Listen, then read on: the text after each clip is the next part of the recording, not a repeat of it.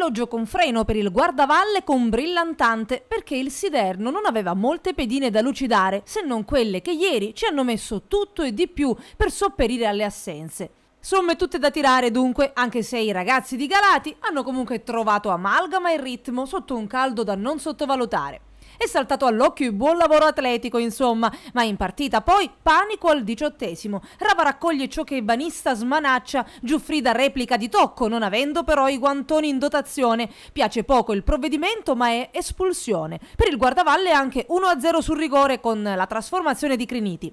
2-0 poi con Rava prendi tutto a raccogliere le respinte del portiere sidernese su tiro dalla distanza ancora di Criniti. E poi Santiago Dorato Show al secondo tempo che sfida le migliori marche in morbidezza e appoggia in rete con pallonetto.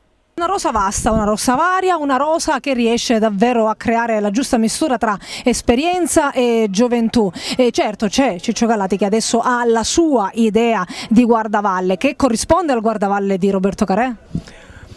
Guarda, io da, da quando faccio il, il, presidente o vicepresidente non, dico che ogni allenatore ha un'impronta sua per quanto riguarda la, la, squadra di calcio. Noi ci trovavamo bene anche con, con, Enzo, con Enzo, Ritano e quindi e adesso c'è Francesco Galati, è risaputo, e lui è, è, bravo come allenatore, non è che lo scopro io, e si è portato all'ossatura del, del Soverato e quindi sa benissimo cosa vuole vuole, che cosa deve fare. Va via un portiere veterano, arriva un altro portiere giovane, 2,92, proprio il suo modello, eh, ovvero spostare un over laddove in altro reparto possa servire di più.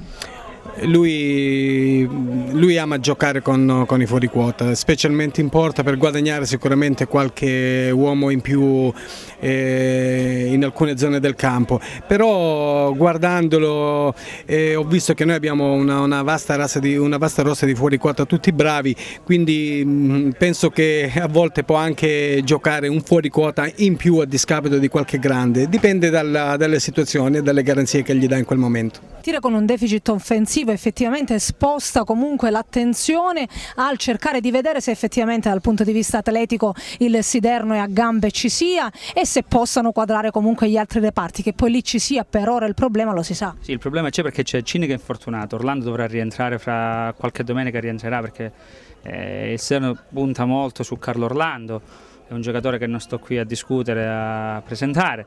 In più stiamo trattando un altro attaccante, quindi io penso che ci sistemeremo per il campionato, siamo a posto. Però considerare effettivamente quel candido che laddove serve riesce col suo spirito dell'abnegazione davvero a fare quasi doppio ruolo va già bene per lo spirito siderno. Sì, c'è Candido e poi spenderei qualche parola anche per i nuovi arrivati che hanno debuttato oggi, sia per Novello che Cambria. C'è ancora molto presto, la squadra si deve, eh, va rodata, bisogna trovare l'amalgama giusta perché ancora è molto presto. Ci hanno iniziato da tre giorni a giocare insieme, quindi secondo me eh, vedremo delle belle. Il Siderno secondo me farà bella figura in questo campionato.